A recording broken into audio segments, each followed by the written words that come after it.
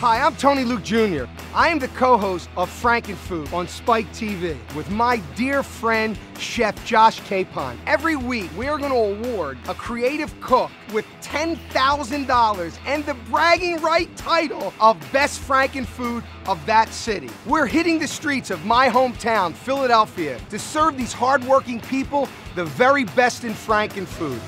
Frankenfood is smashing two or more unexpected ingredients to create and bring to life a whole new flavor.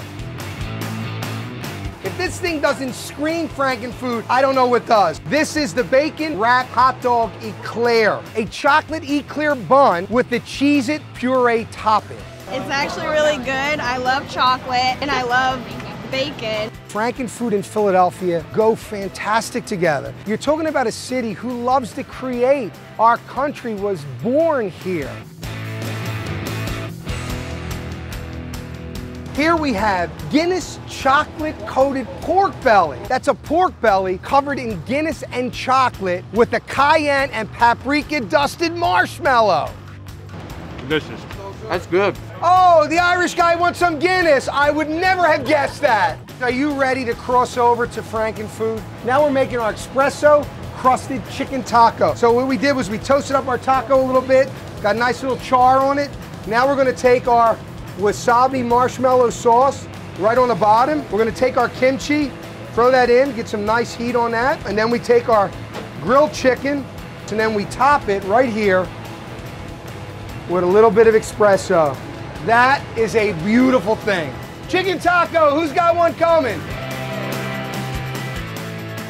Frankenfood is making food fun again. Plus, you get together with your family, you put these dishes together. You're not only making great food, but you're making great memories.